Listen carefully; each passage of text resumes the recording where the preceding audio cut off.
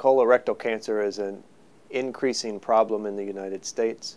The recommendations are for screening uh, with colonoscopy starting at the age of 50, with additional testing after that based on findings. Um, cancer can be diagnosed early uh, with these appropriate screening measures and then treated appropriately with either polypectomy during colonoscopy or surgery to remove the part of the colon that contains the mass as well as the surrounding lymph nodes. Depending on the stage of the disease, this may require additional treatments, including um, chemotherapy.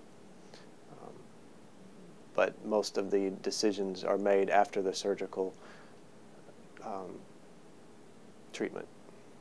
The most important preventative measure is uh, good screening with colonoscopy and fecal occult blood testing, which can be done by your primary physician.